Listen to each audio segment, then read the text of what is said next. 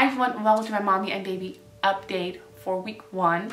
I thought I was going to do these two things together because honestly, not really a lot is going on. Um, I can kind of go over um, Brooke's uh, hospital stay and how she's been doing this week and how I've been doing this week and how breastfeeding is going. This is basically what this update is going to be about.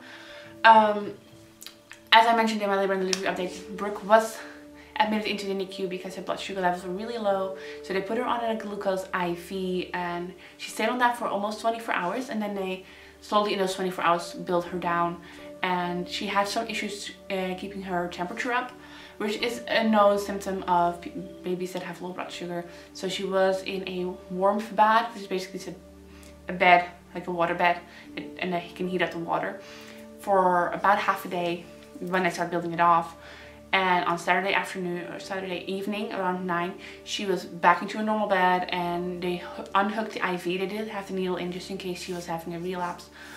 But at Saturday at 11.30 they removed the needle and because her blood sugar levels were okay even after the IV was taken off. And on Sunday morning she was allowed to go back to my room and since there was nothing keeping me in the hospital we had to go home so it was nice. And on Sunday afternoon we were home and the midwife and the kraamzorg, which is the one that takes, that's like the postpartum nurse that comes to your house and takes care of you for like eight days, um, came to our house and um, they checked everything.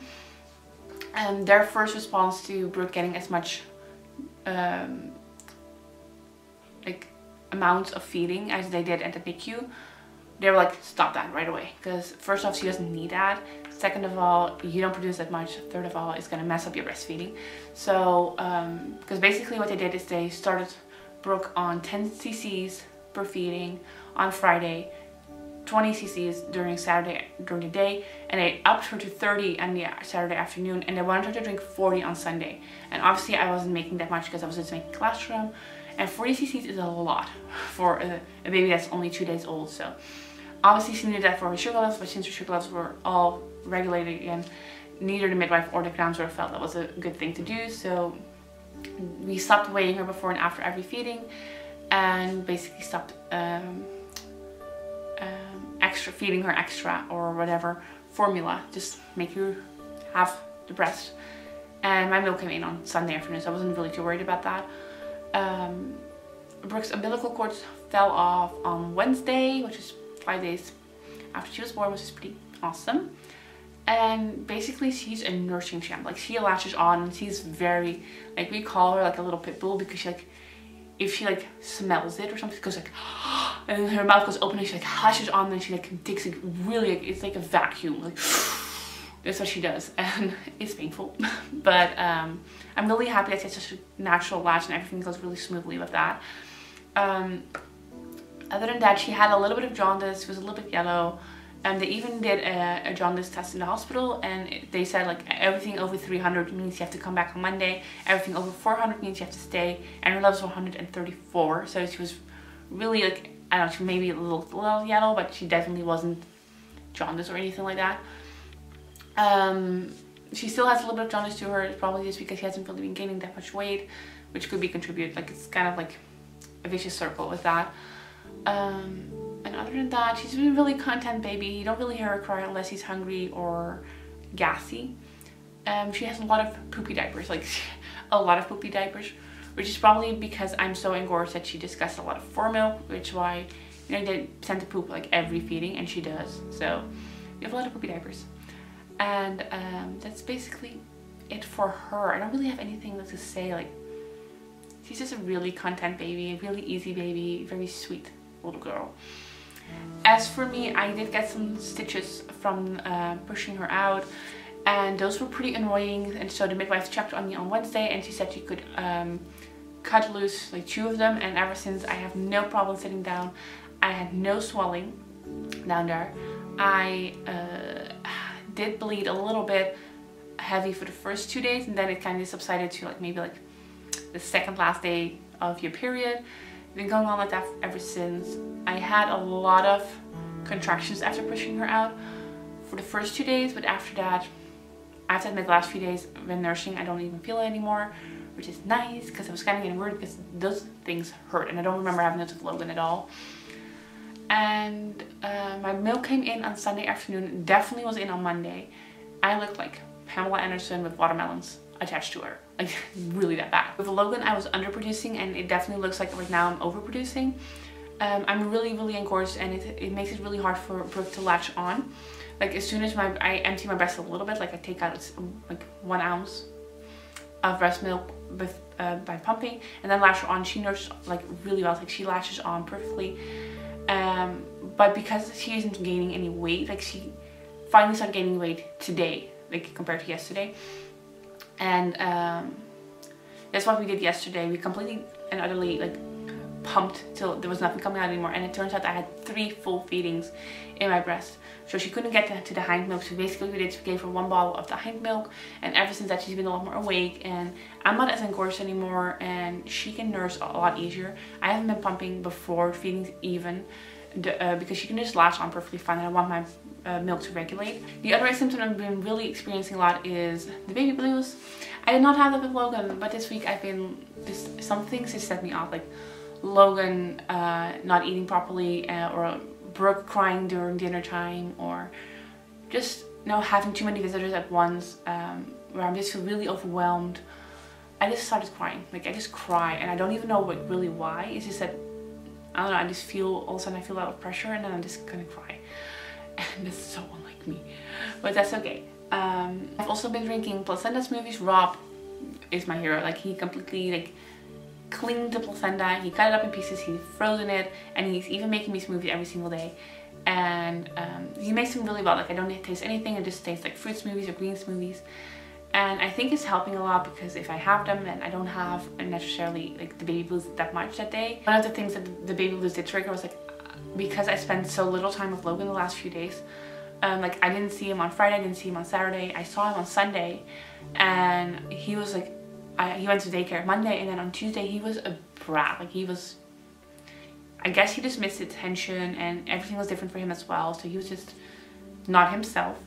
And I had a meltdown that afternoon. I was like, not because I didn't love him or anything, but because our relationship changed and because I was spending so much time with Brooke instead of Logan which is a complete change for both of us. I just cried like how am I going to do this and how am I going to do this if Rob goes back to work? He can never go back to work because I need him and and I just started crying which and like after I was done crying like I'm so irrational. I'm gonna figure it out and Logan is a very easy child as well as Brooke is so I'm pretty blessed with that. So why am I crying over this? I'm gonna figure it out. It's gonna be okay. So yeah this is a little bit of baby blues that I have been experiencing um, but I'm pretty sure that as time goes by it's just my hormones so yeah um, as for breastfeeding, like I mentioned, I was, I was super engorged. I was having three feeds uh, ready for Brooke and she only could take like one. And she got a lot of the fore milk. Um, it was hard for her to latch on.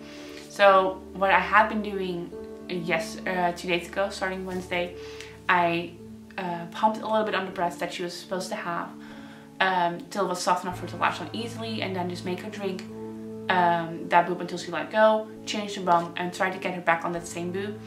We did that for about 24 hours, but yesterday she still didn't gain any weight. So uh, we talked it over and uh, eventually choose to completely, uh, you know, relieve me of my engorgement, see how much I actually had, and I pumped, and I had 240 milliliters, and she only took 80. So, or she only should need 80 right now.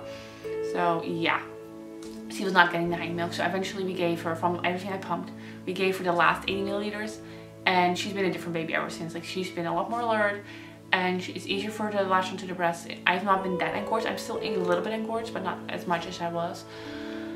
And um, right now we're just doing block feeds. So um, like in a few I think like 15 minutes she needs to eat again and she's gonna go onto my right side and she's gonna nurse and then we're gonna change the bump put it back on my right side and then the next time she needs to feed she's going to my left.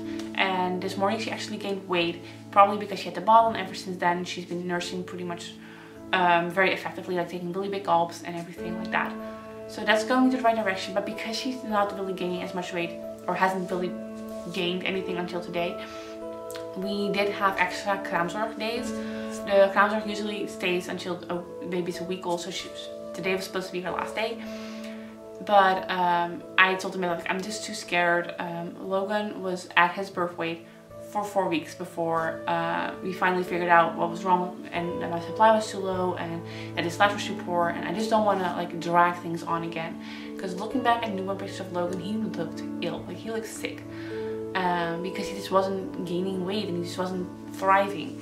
And I just don't want that to happen with Brooke as well. And she agrees. He didn't really feel too comfortable that Brooke hasn't been gaining that much weight and that she was very um, sleepy yesterday because of the jaundice and because of her not getting uh, a lot of the fatty milk um, because we didn't get the bottle until later that afternoon and she was like no you can just have the counter for two more days.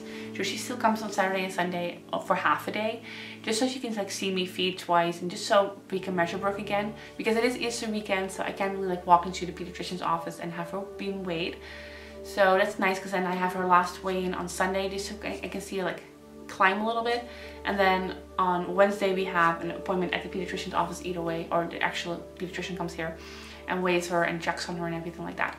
So that's good Oh, I forgot to mention, Brooke also had a hearing test and uh, um, like they do that at like day five or something. They do a hear test to see if her ears are developed enough for her to hear and she passed those, so that's good. As for my weight loss right now, I probably, I didn't really weigh myself the last few days of my pregnancy, but I probably gained like 35 to 40 pounds. And measuring from that point on, like I think I was like 35 pounds, I think, maybe five pounds more, but I'm gonna assume 35 pounds. I lost 21 pounds already, which is amazing. I have, what, 15-ish more pounds to lose until I'm back to my pre-pregnancy weight with Brooke, but I kind of want to lose a little bit more, so probably have about 20 pounds to go, maybe a little bit more. Um, until I'm back to pre-pregnancy weight that I was with Logan, which was my absolute perfect weight. And um, I think that's it for everything. I'm going to show you guys my one week postpartum belly now. So yeah, that's my one week postpartum belly.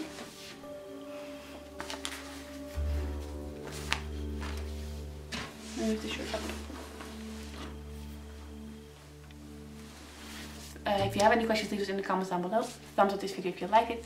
Make sure you subscribe to my channel to see more of Brooke. There's Rob. Hi, Rob. And see you guys in our next video. Bye. Bye.